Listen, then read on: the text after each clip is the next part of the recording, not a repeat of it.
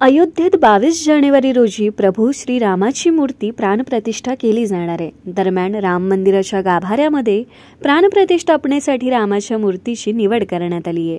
ती मूर्ती कर्नाटकातील मूर्तिकार योगीराज अरुण यांनी तयार केली आहे. त्यांनी रामाचं मनमोहक असं रूप साकारलंय.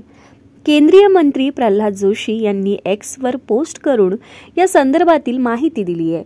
प्रल्हाद जोशी यांनी म्हटलंय की जिथे राम तिथे हनुमान.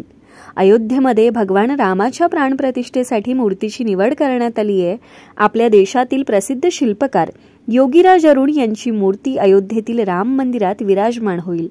बावीस जानेवारी रोजी अयोध्येतील राम मंदिरात रामलल्लाची प्राणप्रतिष्ठा होणार आहे. त्यासाठी मूर्तीची निवड करण्यात येणार होती.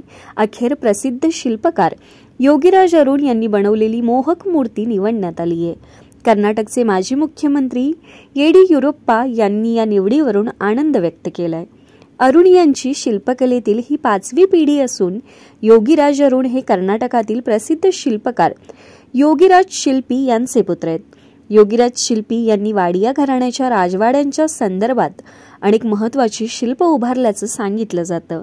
त्यांनीच इंडिया गेट येथील अमर जवान ज्योती स्थळाच्या मागे सुभाषचंद्र बोस यांचा तीस फूट उंच पुतळा केदारनाथ येथील आद्य शंकराचार्यांची मूर्ती पर्यटकांचं आकर्षण ठरणारी मैसूर जिल्ह्यातील एकवीस फूट उंच हनुमानाची मूर्ती घडवली आहे. यासह त्यांनी डॉक्टर बाबासाहेब आंबेडकर रामकृष्ण परमहंस यांचे नयनरम्य पुतळे देखील घडवलेत.